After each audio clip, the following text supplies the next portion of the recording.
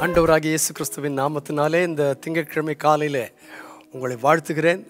சுகமாக இருப்பீர்களாக மன தைரியமாக இருப்பீர்களாக மன மகிழ்ச்சியாய் இருப்பீர்களாக.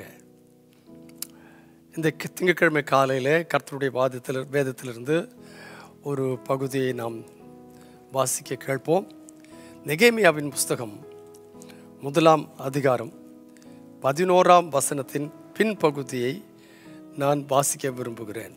இன்றைக்கு உமது அடியானுக்கு காரியத்தை கைகூடி வர பண்ணி இந்த மனுஷனுக்கு முன்பாக எனக்கு இரக்கம் கிடைக்க பண்ணி அருளும் என்று பிரார்த்தித்தேன்.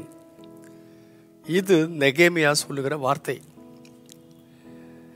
அந்த வார்த்தைகளை அவன் சொல்லும்போது சூசான் அரண்மனையில் ராஜாவுடைய பான பாத்திரக்காரனாக இருந்தான் நெகேமியா.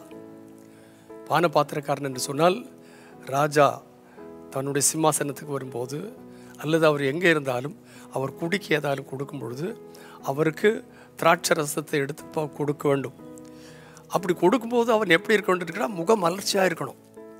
ராஜாவின் சமூகத்தில் ராஜாவுக்கு சேவை செய்கிற யாராக இருந்தாலும் முக மலர்ச்சியாக இருக்கணும். அந்த முக மலர்ச்சி இல்லாத ஒரு மனுஷனை ராஜா கண்டால் அவனுக்கு கொடுக்கப்படுகிற தண்டனை மரண தண்டனை. அப்படிப்பட்டதான சூழ்நிலையில தான் நெகேமியா பான பாத்திரக்காரனாக இருக்கும் பொழுது இஸ்ரேல் தேசத்தில் அலங்கங்கள் இடிக்கப்பட்டதை அவன் கேட்டான். ஜனங்களெல்லாம் யூதர்களெல்லாம் யூதர்கள் எல்லாம் சிறைப்பிடிக்கப்பட்டு போனார்கள் என்று கேட்டான். தானும் ஒரு சூசான் ஒரு சிறை கைதியாக தான் இருக்கிறான். ஆனால் அப்படிப்பட்டதான சூழ்நிலையில் தன்னுடைய ஜனங்கள் சிறைப்பட்டு போகிறார்கள் என்றும் எருசலேம் அலங்கம் இடிக்கப்பட்டது என்று கேட்டபொழுது மனம் ரொம்ப துக்கித்தது அது நிமித்தமாய் அவன் தேவ சன்னிதானத்தில் கர்த்தாவே நாங்கள் பாவம் செய்தோம் எங்கள் ஜனங்கள் பாவம் செய்தார்கள் நான் பாவம் செய்தேன் கர்த்தருடைய வார்த்தை வார்த்தைக்கு கீழ்ப்படியாமல் போனேன் என்னை மன்னித்தருளும் என்று சொல்லி அவன் முதலாவது தேவனுடைய சந்தானத்தில் மன்னிப்பின் ஜெபத்தை பண்ணினான். அதற்கு பிற்பாடு தன்னுடைய ஜனங்களுக்காக அவன் வாரத்தோடு பாரத்தோடு ஜெபம் பண்ணினான். ஐயோ என் ஜனங்கள் இப்படி ஆகிவிட்டார்களே. அடிமைத்தனத்துக்குள்ளே போய்விட்டார்களே என்று மனதார ஜபித்தான். அது குறித்து ராஜாவின் இடத்துல பேச வேண்டும் என்று அவன் மனம் விரும்பினான். ஆகினால ரெண்டாம் அதிகாரத்தினுடைய முதலாம் வசனத்தை நீங்கள் வாசித்தீர்களே. ஆனால் அங்கே இப்படி சொல்லியிருக்கிறது.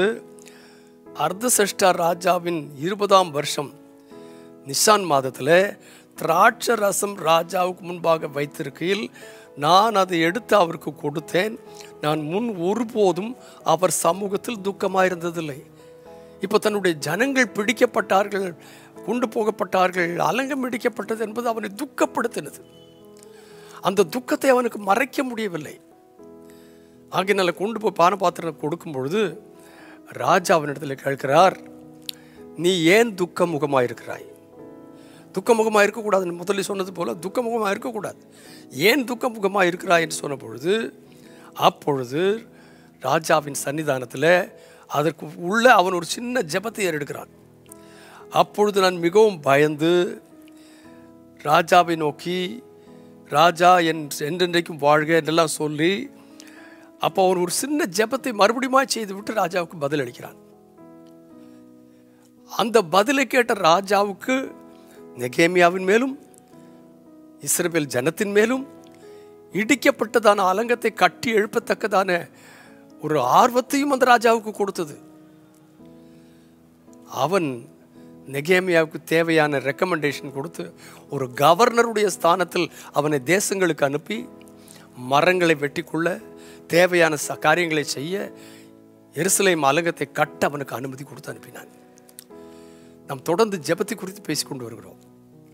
இன்றைக்கு நான் உங்களுக்கு சொல்கிறேன் நீங்கள் ஒருவேளை வேலை செய்கிற இடம் உங்கள் பாஸ் நீங்கள் நினைத்திருக்கிற உங்களுடைய நம்பிக்கைக்கு விரோதமான ஆளாகவே இருந்தாலும் கூட நீங்கள் இருதயத்தில் பாரத்தோடு ஜெபம் பண்ணி மன துக்கத்தோடு உங்கள் மீறுதல்களை மன்னிக்கும்படி கேட்டு அவருடைய சந்தானத்தில் வந்து கேட்டால் அவனுடைய மனதை தேவன் மாற்றினது போல உங்களுடைய எஜமான்களுடைய மனதை மாற்ற என் தேவன் வல்லவர்.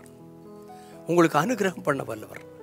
ஸோ இன்றைக்கு காலையில் என்னுடைய வார்த்தைகள் என்னவென்று கேட்டால் நன்றாய் ஜெபம் பண்ணுங்கள். மனதுருக்கத்தோட மனஸ்தாபத்தோட ஜெபம் பண்ணுங்கள். நீங்கள் இருக்கிற இடத்துல ஜெபம் பண்ணுங்கள். கர்த்தர் உங்களுக்காக பெரிய காரியங்களை செய்வார். பரிசுத்த பிதாவை இயேசு கிறிஸ்துவின் நாமத்தினாலே ஒரு முறை கூட இந்த ஜெபத்தை பற்றி நாங்கள் பேசியிருக்கிறோம். அன்றுவரை எங்களுடைய ஜெப வாழ்க்கை கர்த்தாவை மிகவும் விஸ்தாரமாக்கி தரும்படியாய் உம்மை நோக்கி நாங்கள் ஜெபிக்கிறோம். பாரத்தோடு ஜெபிக்க முழு உள்ளத்தோடு ஜெபிக்க தைரியத்தோடு ஜபிக்க சோர்ந்து போகாமல் ஜபிக்க எனக்கும் எங்களுக்கும் ஒத்தாசை பண்ண அந்த ஜபத்தில் வல்லமை உண்டு என்று சொல்லி இந்த சம்பவத்தின் மூலமாக நாங்கள் காண்கிறோம். அது எங்களுடைய வாழ்க்கையில் நீர் தந்தருளும். இந்த நாளுக்குரிய கிருபைகளை தாரும். தேவநாமத்தை மைப்படுத்தும். இயேசு கிறிஸ்துவின் நாமத்தில் வேண்டுகிறேன் பரிசுத்த பிதாவே. அமேன் உங்கள் ஜெப ஜீவிதம் எப்படி இருக்கிறது? என்னுடைய ஜெப ஜீவிதம் எப்படி இருக்கிறது பார்க்க ராஜாவினுடைய கண்களில் தயவு கிடைக்கத்தக்கதான அளவுக்கு ஜெபிக்க எனக்கும் உங்களுக்கும் கர்த்தர் இந்த நாளிலே கிருப்பை தருவாராக. தேவன் நம்மை ஆசீர்வதிப்பாராக. Have a very blessed day God bless you abundantly and abundantly. கர்த்தர் உங்களை ஆசீர்வதிப்பாராக. ஆமேன்